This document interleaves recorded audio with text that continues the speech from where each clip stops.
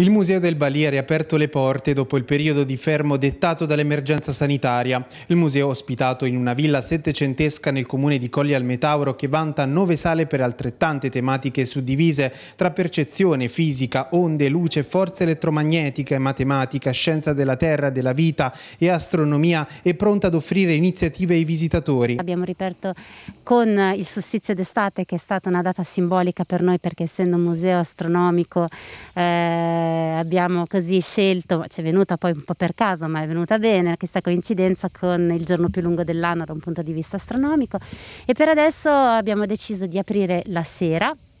il sabato e la domenica.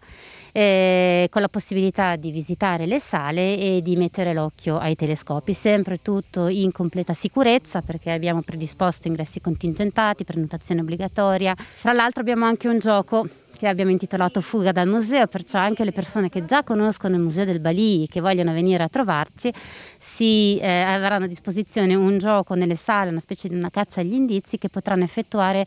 grazie all'uso del loro smartphone e con dei QR code che sono sparsi un pochino nelle sale. Ci stiamo preparando per fare poi eventi estivi eh, anche sfruttando il parco. Novità assoluta è la nuova strumentazione della stanza planetario ad alta tecnologia che permette ai visitatori di immergersi alla vista di suggestivi spettacoli guidati che permettono di osservare costellazioni pianeti e di parlare di argomenti di astronomia, orientamento e mitologia.